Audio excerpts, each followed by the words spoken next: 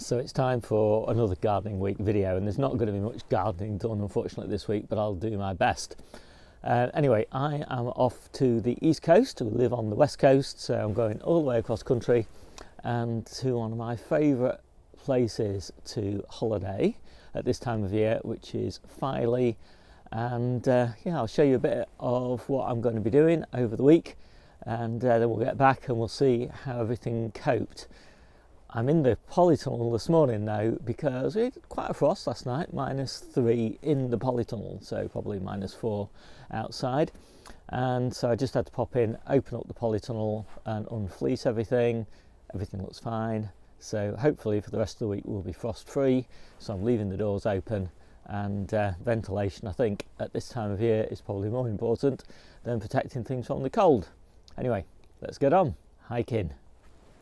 So this is my first walk of the day, and uh, yeah, about an hour in. I don't really like being in the car for more than an hour or so at a time. So I'm either braking at a service station or I'm out finding places to walk on the way. And uh, this is a particularly nice little spot to get out for an hour or so and uh, get some breakfast. So I'm in Filey now, and this is my morning walk to the shops along the beach. I'm actually staying at Filey Bay, which is kind of like this little mock village. It's all holiday homes, and it's beautiful. It's really well maintained. It can be slightly cheesy um, because it's kind of a mock village, but uh, if you can get over that, then it's really lovely. And it just has this most amazing walk down to the uh, the beach from the village itself, and I kind of treasure it every single time I come here, and I've been here many times that little walk down to the beach. It's yeah, it's just one of the prettiest I've ever seen, really. And uh, it can be slightly inconvenient staying here though because the tide comes right in, and so if there's a high tide in the morning, it's not easy to get into Filey village itself, which is here.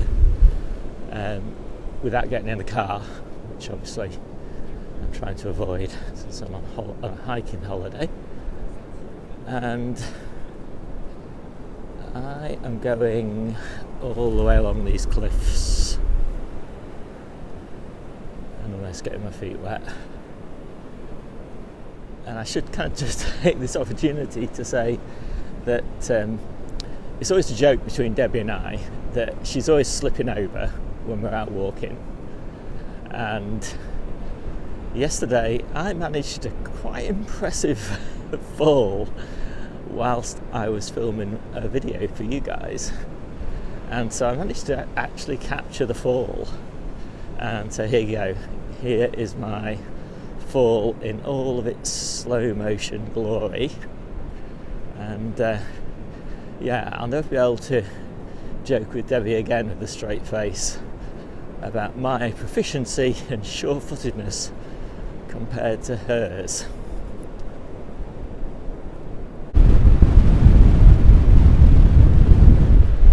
So, that view that I've just shown you there is of Flamborough Cliffs, which is a great place to go to by car, but the walk isn't very good.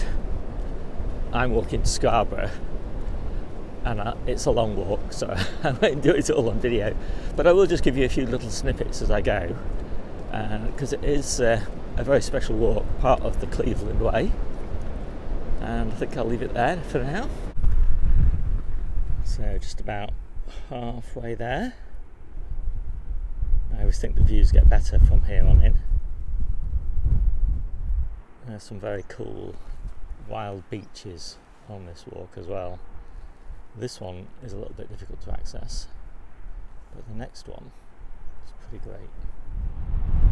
So this is definitely one of those walks where it really um, pays to do it both directions because it looks so different when you're on the return journey. And here, this is a beautiful beach here, really great. And the access down to there is really good. There's a little shop and toilets and everything because there's a caravan site up on the hills there. And there's Scarborough, not very far away now. And so here we are, Scarborough Bay. Very nice. So I'll settle down for a picnic in a few minutes, somewhere around there, my favourite spot. And that might be me done for the day. So because I'm on holiday this week and away for four nights, I've actually got all of the food that we've grown and that we kind of eat fresh that I, just me, I'm going to eat uh, this week. So it's a great opportunity to answer that question that I'm always being asked. What do you eat in a week, Steve? So I am on a hiking holiday, so I've got a lot more fruit than I would normally eat. So a couple of pieces of fruit, maybe three pieces of fruit a day. And my preference at the moment, at this time of year, nectarines, pears and apples, organics. And four salads. So here's salads in bags. Look a lot nicer when they're on a plate. Loads of different leafy greens in there. Loads of tomatoes, spring onions, carrots, things like that. And a hunk of cheese and some eggs. So uh, that's pretty nice. And then I've got these little bags, which are lovely. And these are basically just like bean tips and chard and spinach. And I just drop those in with my steamed veg at the end. And then I've got these little cooked veg bags. And so these have got beetroot and onions and carrots and all sorts of brassica greens in them. And uh, yeah, loads, loads of onions and garlic and all that sort of thing. So pretty good.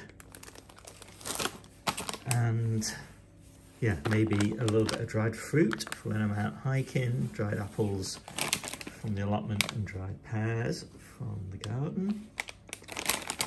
And I think that is kind of pretty much it. So that will be my supper, because that's when I have my salad and my evening meal, that's when I have my cooked veg, fruit I'll take with me, dried fruit I'll take with me, and I don't know, it's just wherever I find a good place for breakfast and lunch, uh, I'll eat that there.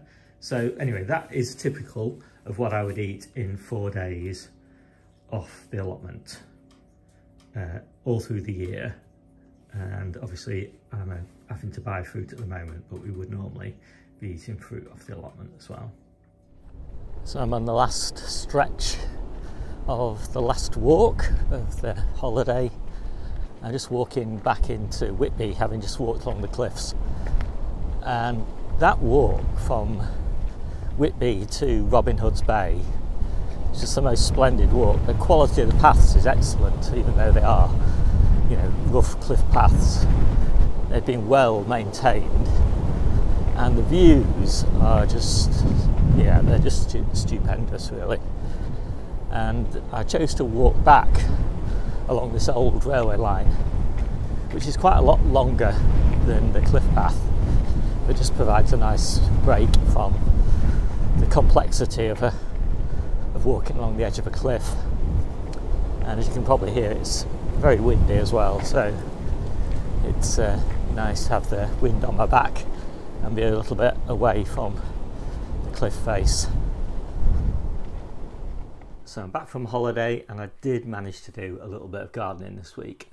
I pricked out my lettuces, I pricked out my chili peppers and my tomatoes and this is the last batch of chili peppers for me and uh, all the other successions are looking quite nice so I'm pretty pleased with the way all those are going.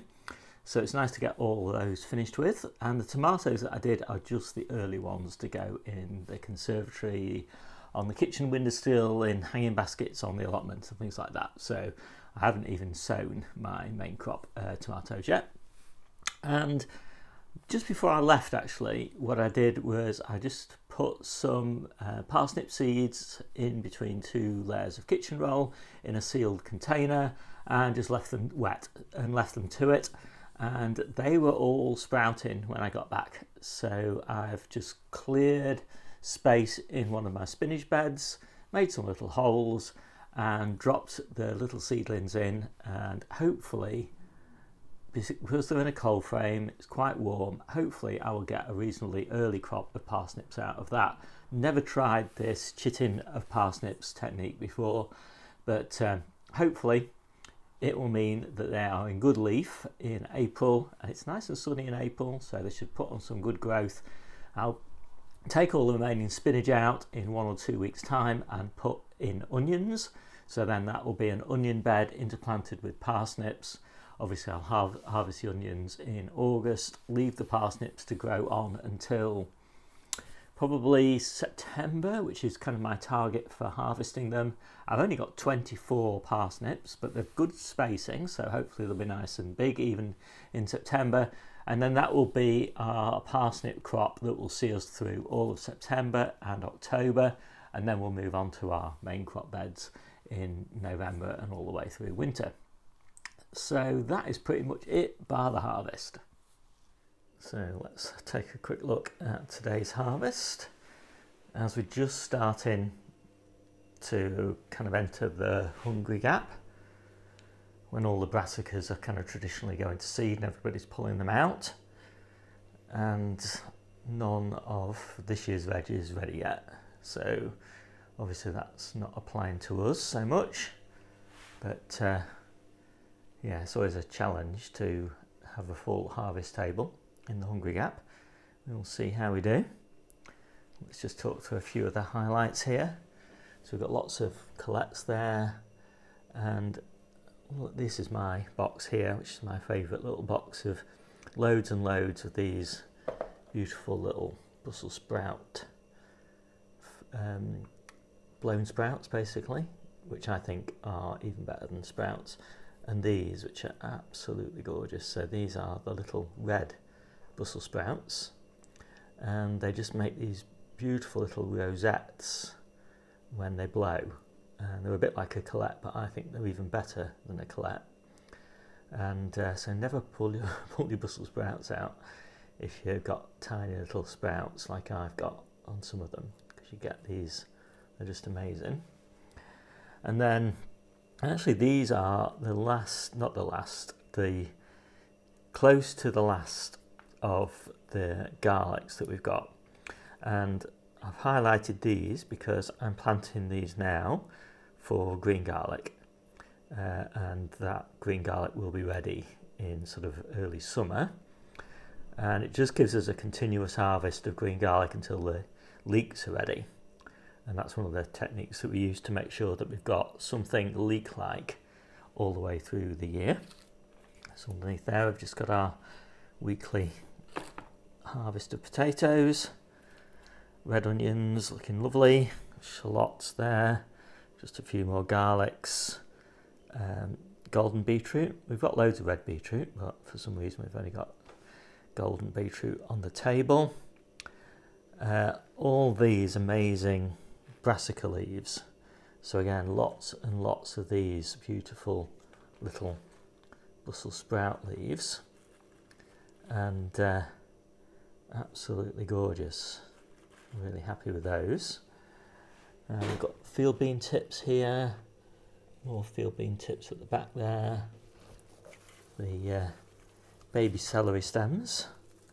So it's nice to have celery at this time of year and then masses and masses of spinach of course because kind of now is the kind of time for peak overwintered spinach and so all those boxes and boxes at the back there are all spinach and we've got some really nice purple sprouting broccoli as predicted the spring varieties of purple sprouting broccoli are now ready just as the winter ones are finishing uh, some parsley, some radish, chard, the penultimate harvest of lamb's lettuce. Gorgeous stuff. And the penultimate harvest of miner's lettuce. Salad onions, salad onion tops, and the salad bases. So I'm pretty pleased with that. Oh, I forgot to mention the carrots. Carrots looking pretty good. Got a lot of carrots left, and as I'm sure I've mentioned many times now, picking them all before they go to seed is always the challenge. Now, what I normally do is I normally have three containers of salad, of salad, three containers of carrots, which I kind of hold in reserve.